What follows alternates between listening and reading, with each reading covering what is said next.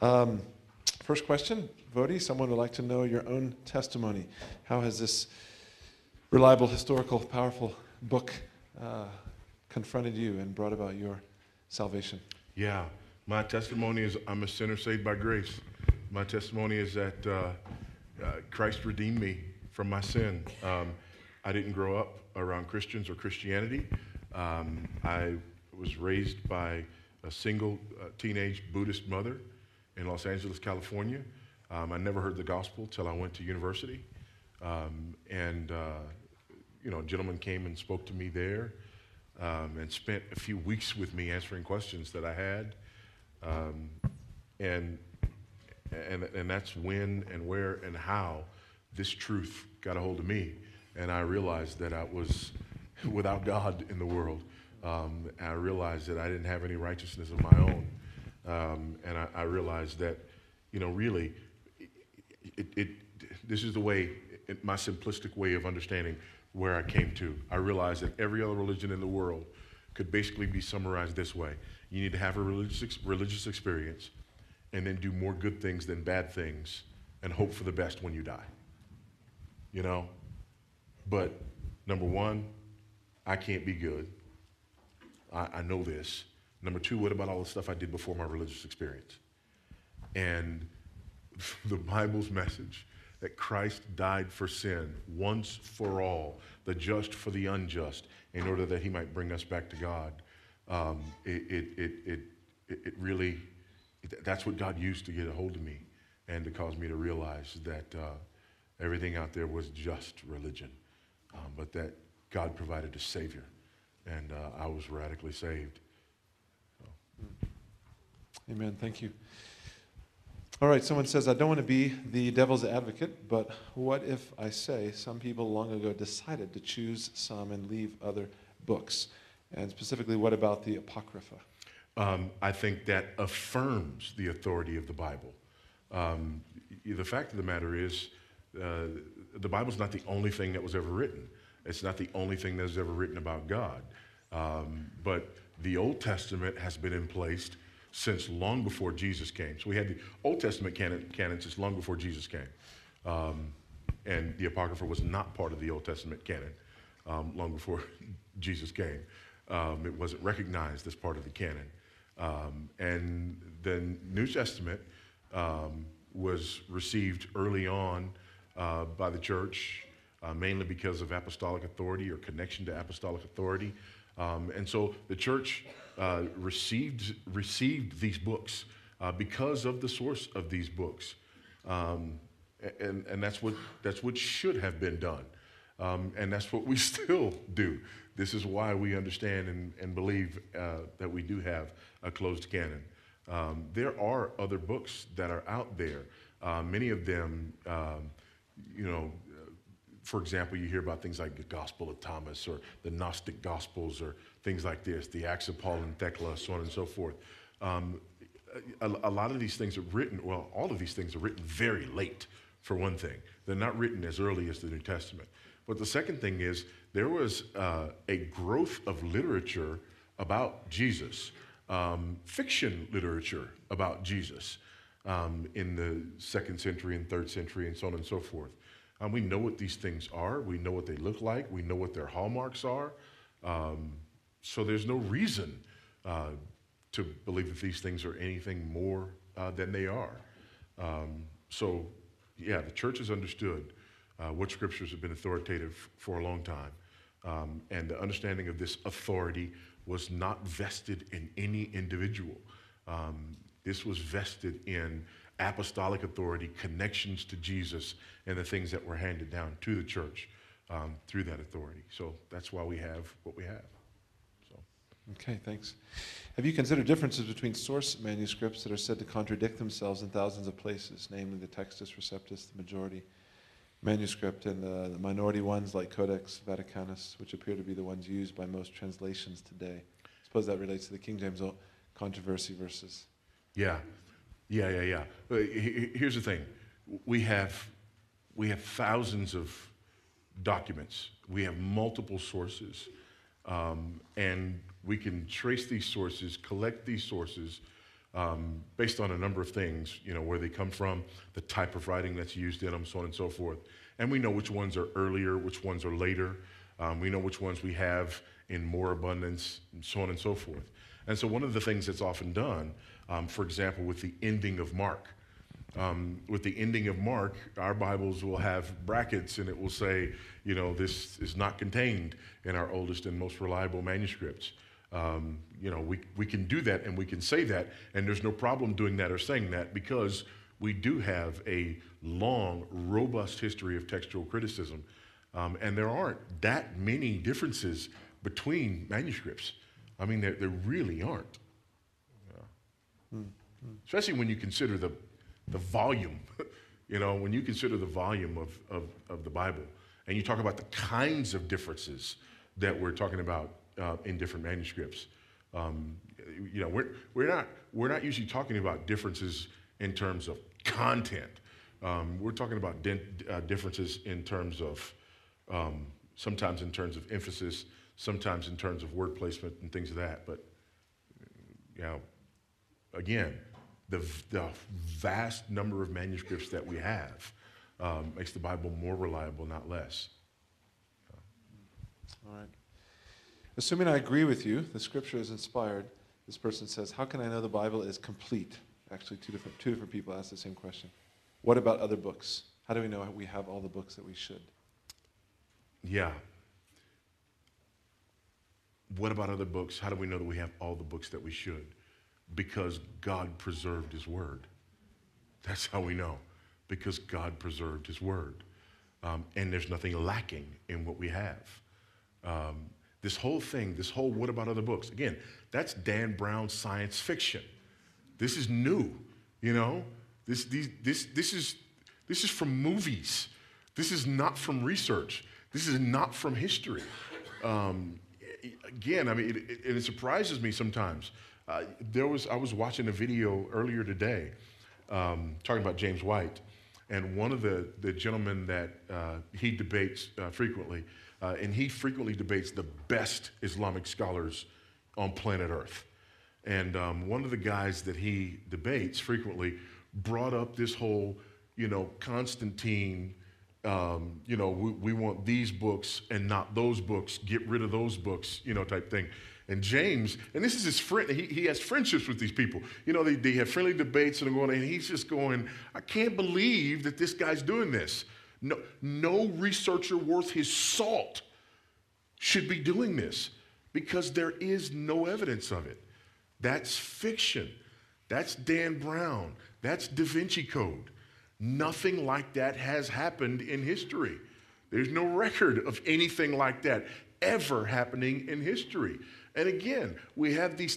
Do we believe that we have these thousands of manuscripts and portions of manuscripts and that in the you know New Testament times, you know, the, the, the, the early church received these, these, these documents, you know, received these epistles, received these letters, received these gospels, um, and that somehow in the midst of all of this, with all of these documents being written by hand and spread out all over the world, that we collected up one stream of them and burned them all.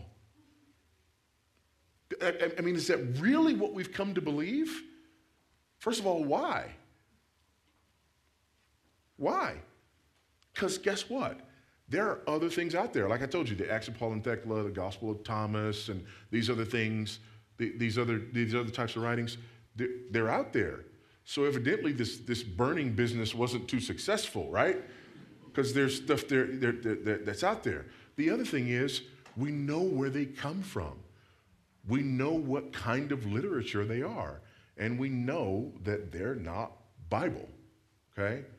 Um, so again, it, and it's, it's, it's really disturbing that this has so much traction, you know, um, but, but it does. And um, we, need to be, we need to be aware of it. We need to be aware that it has a lot of traction.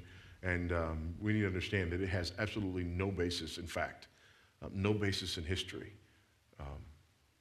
This is not how the canon came together. You know, canon didn't come together through book burning, you know. Mm. So, yeah. Thank you. Um, someone says, the, the Middle East, what does the Bible say about what's going on in the Middle East, the demise, the turmoil at present? Is this the end times? What does the Bible Um, say? Yeah. Um, the Bible talks about the end times and the last days, and it's a reference to the entire period between Jesus' first and second coming. So we're in the end times, we're in the last days, and we have been since Jesus' death, burial, resurrection, and ascension. And we will be until Jesus comes back.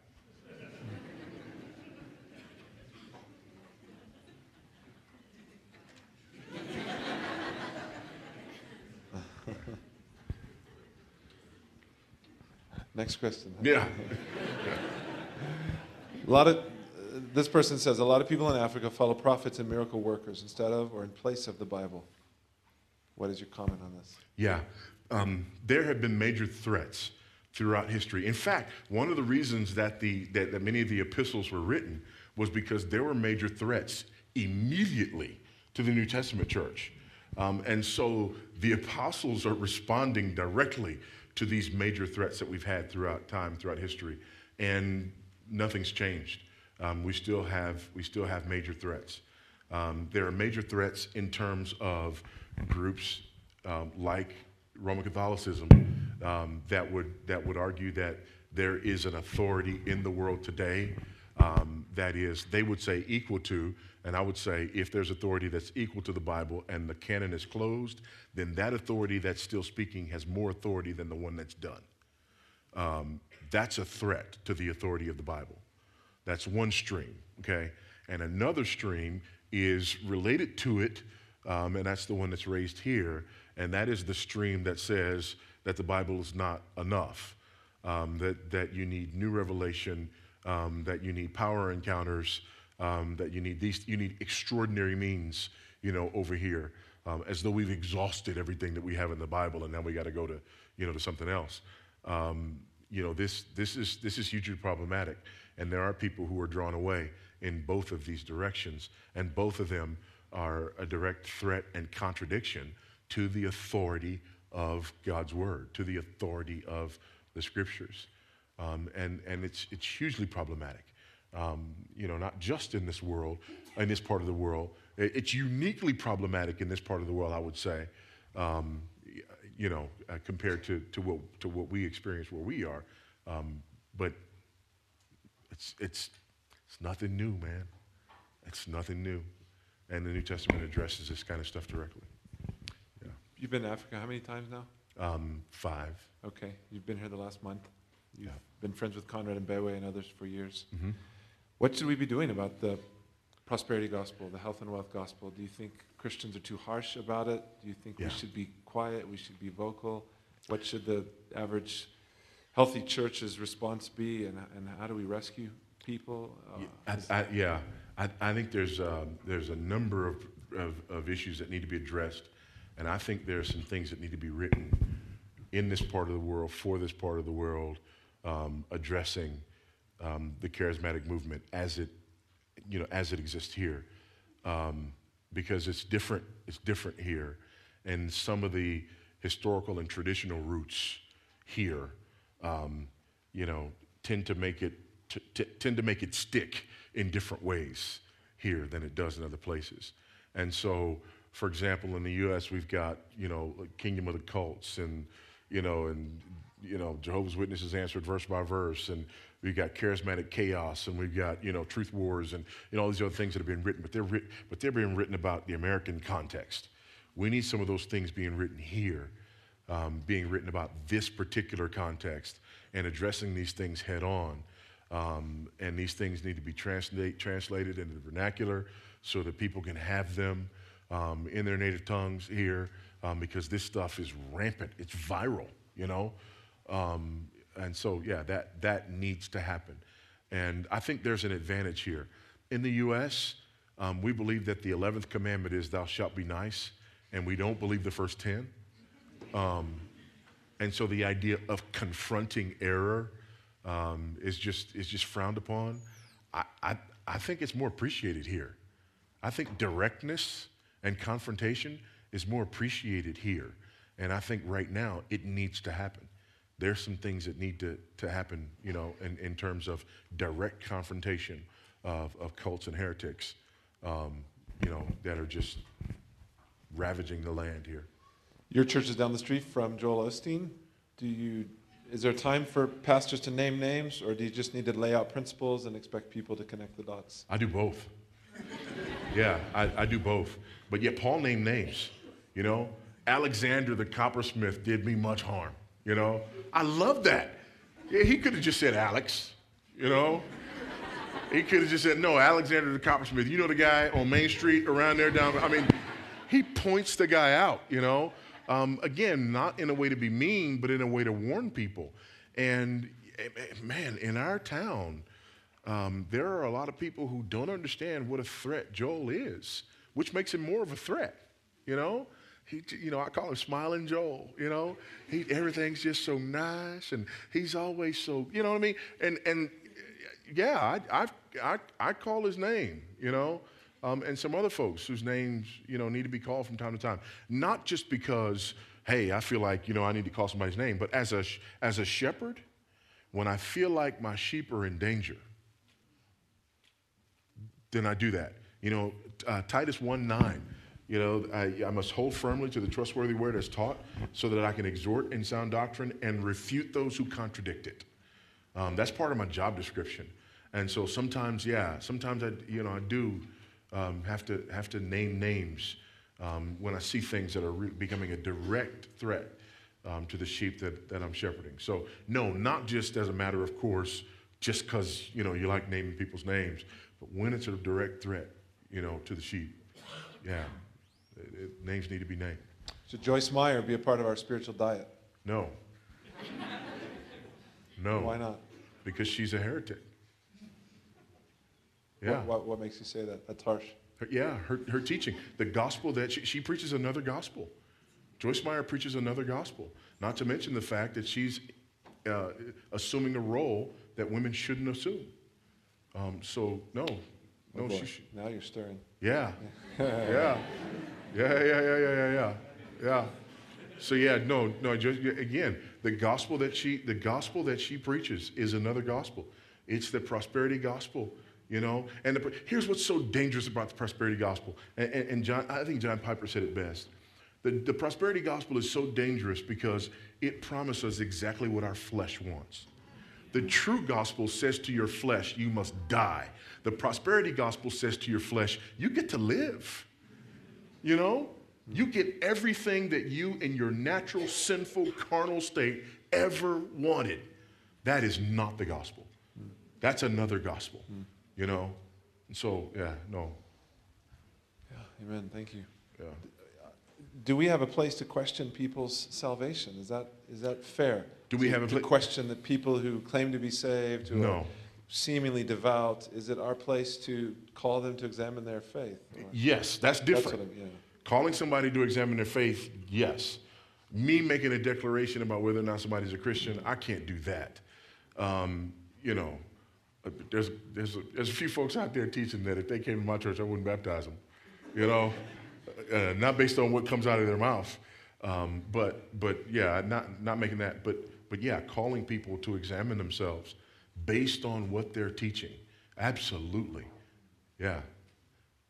So people leave your church at time. I mean, they walk out on a Sunday, sometimes having to re-examine whether they're saved or not. Is that your job as a preacher, or is that just too discouraging and too negative? Um, it depends on the text. I mean, if we're, if we're, preaching and we do, we do systematic exposition, and there are some biblical passages that that's their focus, you know. Um, examine yourself, test yourself to see if you be in the faith, you know. Um, so, yes, it's appropriate for that to happen at times, um, but, you know, as a matter of course, not necessarily. But what we do want to do is uphold the gospel. The gospel needs to be proclaimed at all times, and we need always to call men to repentance and faith. So rather than having people leave questioning whether they're Christians, I, I, my desire is that people leave, you know, clinging to their need for repentance and faith. You know. Mm. Someone also asked about uh, if there's one Bible, why are there so many different churches and denominations? Why are we so fragmented? Aren't, aren't the Muslims unified? Aren't the Catholics unified? Yeah, no, the Muslims are not unified. The Catholics are not unified. Um, Anybody who says that doesn't know much about Muslims or Catholics. Um, so, no. Um, but, but, here's the thing there, there's so many of us, um, and we're in so many different parts of the world, and we have so many different needs and so many points of emphasis. Um, just the size of the world explodes that myth. So if we're going to be in one church, where's it going to be? And how are we going to get there weekly? Right? So is it whoever has the biggest airport hub, then we all just, you know, we all just so that in and of itself. And then when Jesus says, go take the gospel to panta ta ethne, um, that means that we're having to go to different people groups. So we're going to different language groups and people, you know, so yeah, we need, we need churches. And also churches are local expressions, right? And because they're local expressions, there need to be many of them, millions and millions of them throughout the world. Um, yeah, so we, we, yeah that, that's why we have so many churches. Um, and some churches put the emphasis here, and some churches put the emphasis there, but we're not changing the gospel. Um, oftentimes, you know, our, our differences come, you know, to questions about how we, how we govern ourselves and how we organize ourselves. And that just has to do with the fact that there's so many of us and we can't all be together. So we're going to have to be, you know, in relation to one another somehow. Um, how do we define that? Well, those things become a little bit more difficult to sort of nail down and be very specific about. And that's why you have a variety of different groups. Um, but those groups are all Christian groups. Um, so I'm, I'm, not worried about there being a variety of different Christian groups. Um, I'm not even worried about there being cults, to be honest with you, um, because Paul made this very clear even to Timothy in, in chapter 4. You know, preach the word, be incident in season, out of season, reprove, rebuke, exhort with great patience and teaching. Why? Because the time is going to come when people will not endure sound doctrine, but instead they will accumulate for themselves teachers in accordance with their own desires, and they'll turn aside from following the truth and they'll turn to myths. And this is what's happening. That's where the cults come from. That's where the false teachers come from. That's where all this comes from. So far from that being evidence of a problem in Christianity, um, that's something that the New Testament told us um, was going to be part of our experience. And it is part of our experience. And it's just because, you know, Satan disguises himself as an angel of light. Um, eh, you know, what's more effective? To stand in front of people and tell a bald faced lie or to cover your lie in the skin of the truth? That's what's more effective. That's why there's the cults. Mm. Should we have different demographic type of churches, black churches, white churches, biker churches, and you, traditional services, contemporary services, so forth? Um, should we have different demographic type of churches? Yes, we should have different demographic type churches in the sense that, you know, Panta ta ethne, there are different people groups that are going to be reached. And so people groups are going to have various cultures um, and languages and so on and so forth. So, yes. Um, but do we have different demographic churches just for the sake of you know, demographics? Uh, absolutely not. Um, you know, there's a difference between demographic churches and niche churches. Demographic churches, that's how you do missions. Niche churches, that's a problem. You know, so we're the biker church, or we're the young people church, or we're the old people church, or we're the black people church, we're the white people church. We're the, you know, now, now you're having a problem. Now you're dividing the body. You know, um, that, that's, that's, that's, no, that's not appropriate. Mm-hmm. Yeah. Voddie, you've written a lot about family. You mm-hmm. brought seven of your kids, ages 10 and under, yeah. with you for the last month across Africa two of your books, Family Driven Faith, Family Shepherds. Yes. A little bit of why that is so, such a heartbeat of yours? Yeah. Well, I, I did a trilogy of books there. Um, and really, the first of those, Family, uh, Family Driven Faith, was birthed out of, I mean, if you cut me, I believe apologetics, mm. um, and particularly cultural apologetics. So, kind of Francis Schaeffer, Schaeffer type of applying um, the, the truth and the implications of the gospel to apologetic issues. And some of the most significant apologetic issues of our day surround biblical manhood, biblical womanhood, marriage, and family. And so th- those things were birthed out of my desire to address those particular issues and also out of my own um, experience and that being such a significant thing for me personally. Um, so those two things are what came together and, and, and sort of motivated that trilogy of books. What should the church's response be to the same sex marriage issue? How has your church handled this? What should the Christian response be? You know, the Bible says that marriage is to be held in esteem among, among all. Um, and this is not marriage being held in esteem. Um, this is blasphemy. This is blasphemy against God. Um, uh, this is wickedness uh, of the worst kind. Um, homosexuality is unique among sins. Let me say that again. Homosexuality is unique among sins. Um, you know, people want us to say, well, you know, all sin is the same, and da, da. that's not true. That's why Jesus said it will be worse for some on that day. So, how can it be true that God just views all sin exactly the same, but Jesus says it will be worse for some? Okay?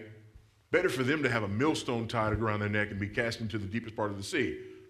And he's talking about one who leads little ones astray. Um, homosexuality is unique among sins in this way. Number one, it's one of very few sins to be listed as uh, an abomination. Um, not it's an abomination for Israel, but it's an abomination to God. For example, when you talk about things like their dietary laws and things like that, there were things that God said, This is an abomination for you, Israel, because you're separate as a people and you're not to be like those people, so it would be an abomination for you. Homosexuality is not an abomination for Israel, it's an abomination, period. Um, secondly, it's the only sin that has the distinction of being the cause of God raining fire and brimstone on the earth. There's no other sin that was the cause of God destroying twin cities. Okay? Um, thirdly, it has the distinction of being a direct affront to the picture of the Godhead and of the picture of the relationship between Jesus Christ and his church. In these ways, homosexuality is a unique sin. Also, it's unique in that in the Romans 1 um, passage, in the devolution of culture, it's unique in that that's the sin for which Paul says men receive in their bodies the due penalty for their error. Um, it's unique in that it, as a sin, is a direct affront to the image of God in man um, and the complementary way in which he made uh, the human race. Um, so this is, this is, this is wicked, um, and it's something that must be confronted. It must be confronted because of its implications for societies and cultures. Um, it must be confronted because um, of its implications for the individuals practicing this. People who practice homosexuality have a rough go of it, man. It's tough. Their suicide rate um, is off the charts. Their domestic violence rate higher than any other group of individuals. Um, their, uh, um, their, their contraction of um, sexually transmitted diseases. Again, more than other uh, uh, groups or individuals. And not just sexually transmitted diseases, but other sort of maladies that are caused that we won't go into because there's young ears here, um, you know, by this lifestyle. Their rate of alcoholism, higher than any other group that you can mention or name. Um, th- this is something that's devastating to individuals, it's devastating to cultures, it's devastating to societies, and it has implications that undermines the future of cultures that embrace homosexual marriage because it undermines the very definition of marriage itself. Um, it leads to the um, over sexualization of young boys and young girls. Um, I, I could go on, but there's, there's huge implications um, to this particular issue. Um, and the way that it's been sort of sold to us has been masterful um, in a very evil sort of way. All right, I have one final question, but perhaps we can take, uh, if there's anyone from the floor that uh, has a final question that uh, wants to raise their hand. We had a few less in the box than we expected, so uh, Yes. you can be brief, ask brief, not statements, just questions, and Voddie will give the answer.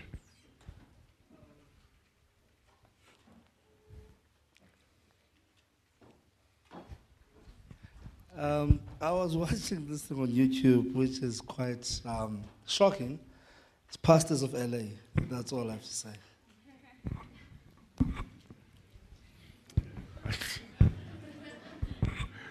Uh, pastors of LA. Uh, have you have you all seen this? Um, eh, yeah. Okay. Who's seen this? Who's seen Pastors of LA? Okay. You know what's interesting about that? Almost exclusively black people in the room who've seen that. Almost exclusively. Okay? Who've seen Pastors of LA. Um, I just thought I'd point that out. Okay? Um, Pastors of LA is a reality TV show um, about a group of pastors. Um, they're all black except one. There's one. There's one pastor who's, who's, who's, a, white pastor in Los Angeles. And what they did in order to make this reality TV show is, I believe, they said, what group of pastors could we choose that would make Christianity look the worst? And how can we follow their lives? Um, and and and that's what they did and it is, it is grievous. Um, it's horrible. Um, it's sad, really. But this is a picture of this is a picture of the commercialization of Christianity in America. It's big business, man.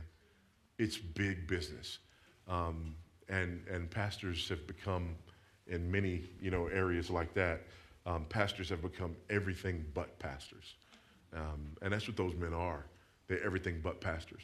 And I mean, these guys have, you know, five and six cars in the garage, and there's the Rolls Royce, you know, there's the Bentley, and there's the Mercedes. And I think today I'm going to take the, you know what I mean, the Ferrari. And I mean, it's just opulent. Just, it's ridiculous. It's absolutely ridiculous. Um, they're all word of faith, you know, prosperity type, you know, preachers. Um, yeah. I think every one of them's divorced and remarried. Um, one of them's divorced and not remarried. But I think every one of them, um, except except the white guy, he's the only one who who hadn't been you know divorced and divorced remarried. Um, so yeah, it's yeah, but and I think I think things like that are intentional. You know, uh, I think I, I think that's what the enemy wants. I think you see that on television for the same reason that you don't usually see John MacArthur on television. You know, when they want to talk about, you know, cultural issues, they want some guy who stammers and sounds like an idiot and whatever, but someone who's unafraid, someone who will just tell them what the scripture says, who won't back down, you know, who will preach the gospel. Man, they don't want to hear from that guy. We don't, we don't want to hear from you. We want to hear from the person who ordains homosexuals, you know, we want to hear from the person who's, you know, social gospel, social justice, neo-Marxism. You know, we want to hear from the person who's a heretic. We want to hear, these are the people that we want to represent Christianity. Um, and I think that's intentional uh, because there's a desire um, for the things that we preach um, to not be heard. Um, and I think, you know, unfortunately, these guys don't even care that they're being used in this regard. Um, it's sad. Yeah. I bet they didn't come to John MacArthur. Because he's in LA, right? Guarantee they didn't come to him, you know? All right, last yeah. question there. Uh, yeah, a young lady over here. I, I pointed to her first. I'm sorry. If she doesn't want to, though, I mean, you could. Yeah. okay, we'll do both. Keep we'll brief. do her, and then we'll do you. Yes.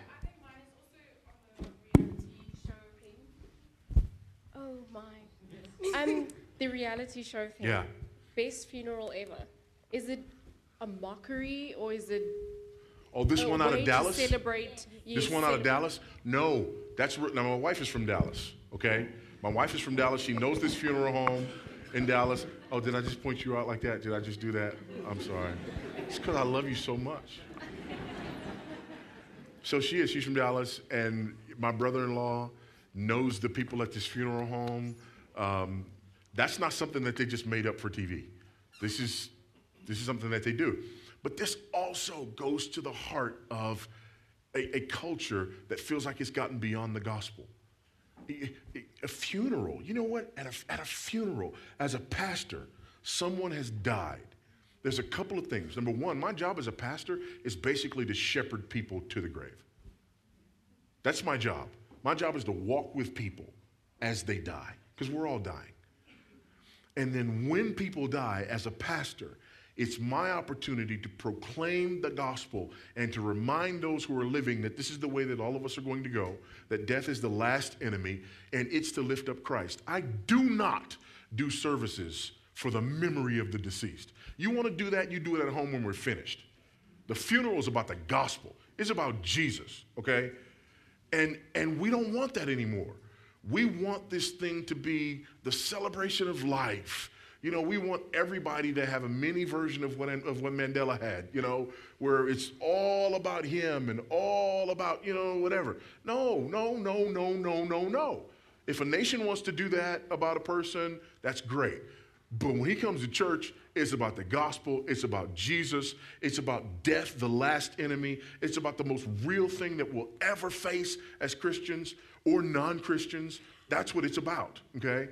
And I think this show is really about how we've moved from that to the idea of funerals being the celebration of people, being the celebration of their life. And that's just not what a funeral ought to be. And I've told, I've told my wife, I've told my fellow elders, and anybody else who might be involved with my funeral, my life is not worth celebrating. Don't do it. Don't do it. Make much of Christ. I'm dead anyway, you know? yeah, so, but that, again, I think this goes to the heart of, we feel, we feel, we feel like the gospel's old news. You know, we, we, I mean, we feel like we need something more. We feel like we need something else. And so we've even taken death, which is the ultimate opportunity for us to cause men to face their own mortality and turn that into something that takes away the stain of our sin. And I think it's sad, you know? So, anyway. All right, last one. Okay, cool. So um, I just wanted to ask, um, I think because you're passionate about cultural apologetics, um, but specifically in the in the urban context, what what do you think of Christian hip hop?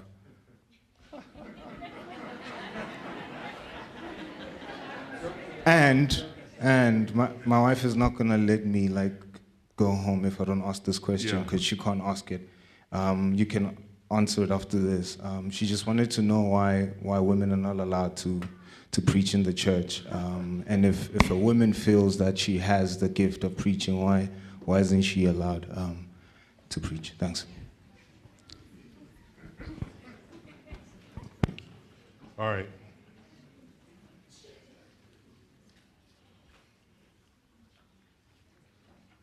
First Timothy chapter 2 and verse 12. I do not permit a woman to teach or exercise authority over a man. Rather, she is to remain quiet. So, because the Bible says so. Um, and that's it. The other thing is, well, what if a person feels like they have gifts to do that? Uh, no one gets to do everything they feel like they're gifted at. No one does. Um, what if a man who has several wives feels like he's gifted to be a pastor? The Bible says he must be the husband of one wife, right? So just because you feel like you're gifted to do something, that doesn't give you the right to overthrow biblical qualifications. Um, the office of the elder, uh, Paul says, you know, when he's talking about the elder, he must be the husband of one wife. He's talking about man, okay? That office is exclusively for men. Um, that's the office of the pastor teacher.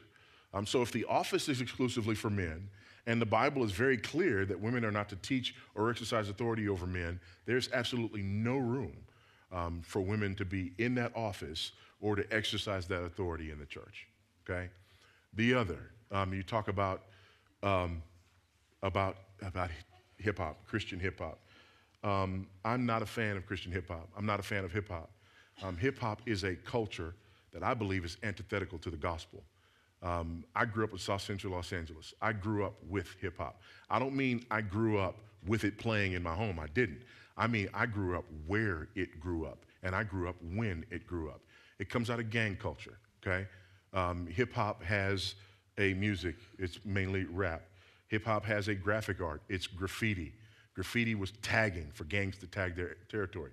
Hip hop ha- has uh, a dance. It went from popping and locking to now animating and you know other things like that. Um, you know, hip hop has a language. It's slang. It's the bastardization of language. Um, you know, hip hop has an ethos. Um, that ethos is aggressive. That ethos is arrogant. Um, that ethos, you know, shoots the middle finger at the culture. Um, you know, eh, eh, the, the, much of it is degrading. It's degrading to women. Um, it's not only degrading to women, it's degrading to men. You walk around with your pants sagging and people looking at your underwear. You got a hat, you got to cock it all to the side. It's, again, why, why, are we doing this? You know, um, it's not the best that culture has to offer. Um, and we ought to be about the highest and best that culture has to offer. Um, and so, if we want to evangelize to people in this inferior subculture, than we ought to. But we do not drag the church down to this inferior subculture. Um, so, that's my opinion. Um, others will differ and disagree, um, you know, but I'm, I'm not a white guy who's going to be labeled as a racist, so I'll just say what I feel.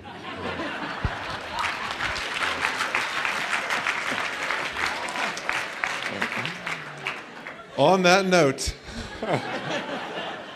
you got a little rhyme you could end, it, end us with? got a favorite did, hymn? Back in the day, okay, back in the day, I, I, I, did, you know, you know. But again, I, can it can can there be can there be a a a, a, a use of you know these things, and can you can you you know minister to people in you know various areas and cultures?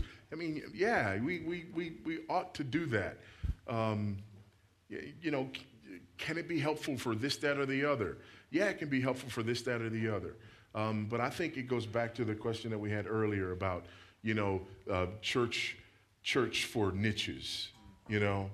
Um, and so we're, we're, we're gonna have we're gonna have this. I wouldn't want a hip hop culture church any more than I would want an '80s soft rock culture church, you know. Um, that just that's that's not where we go. We go to our highest and best, and we go to common denominator. We connect ourselves to history. We connect ourselves to one another. Um, yeah, we need things that do that. Um, and this culture is not one that does that. Um, yeah, and there, there's so many things about it that I think are just hugely problematic. There are things that it's good at, that it's better at. Um, I think the prophetic invective, you know, um, I think I think that fits better in that genre than, than in other genres. Um, but I mean, other than that, man, I'm, I'm just, I'm, I'm worried about it. And I'm especially worried when I see here, when I see that influence coming here, you know, because um, it's not the best that we have to offer. And it just saddens me when I go to different parts of the world and I see people embracing um, that which is less than the best that we have to offer. Because there's a lot that we have to offer uh, in the U.S. God's been good to us, and we've been, we've been blessed in abundance. Um, that's not the best that we have to offer. You know? mm, so, mm. Someone's asked that you please lead us two more times in a repetition of that key statement. Why we believe the Bible? Because it is a reliable collection of historical documents written by eyewitnesses during the lifetime of other eyewitnesses. They report supernatural events that took place in fulfillment of specific prophecies and claim that their writings are divine rather than human in origin. Okay? Once more. It's a reliable collection of historical documents written by eyewitnesses during the lifetime of other eyewitnesses. They report supernatural events that took place in fulfillment of specific prophecies and claim that their writings are divine rather than human in origin. Okay. Can we express our thanks to Voddie for an incredible evening?